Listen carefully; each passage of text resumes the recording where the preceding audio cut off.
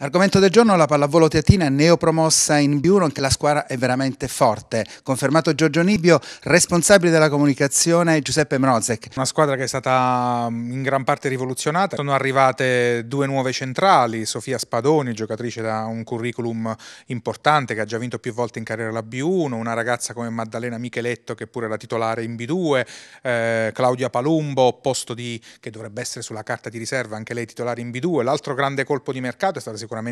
l'alzatrice Beatrice Giroldi, una giocatrice eh, di categoria superiore, negli ultimi due anni ha militato in A2, ma c'è anche il nuovo opposto Sara Gotti, c'è il nuovo libero Valentina Torrese, insomma una squadra davvero completa, sommandosi alle ragazze che sono rimaste come Culiani, D'Angelo, Galliero, la giovane Ilaria Maiezza che sarà il secondo libero quest'anno, insomma con la guida di Giorgio Nibbio noi riteniamo di aver fatto una squadra che possa ben figurare in un girone comunque duro come il girone D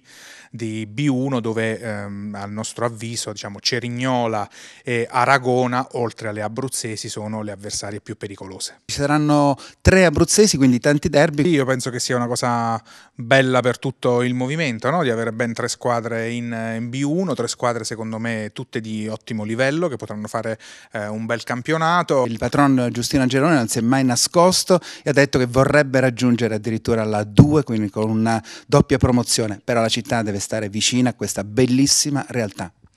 Eh, la grande speranza diciamo, di quest'anno è che dopo il bel campionato di, dell'anno scorso e confermando un campionato di vertice in B1 quest'anno possiamo ottenere dalla città un maggiore seguito. Già l'anno scorso devo dire c'è stata una crescita del pubblico da questo punto di vista, speriamo di averla ancora di più perché gli sforzi della società lo meritano, perché eh, riteniamo che la pallavolo teatina ormai sia una realtà vincente dello sport della città e quindi invitiamo tutti a seguirci, a venirci a vedere le partite perché è davvero un grande spettacolo di sport prima di tutto e poi anche un rendere omaggio alla propria città.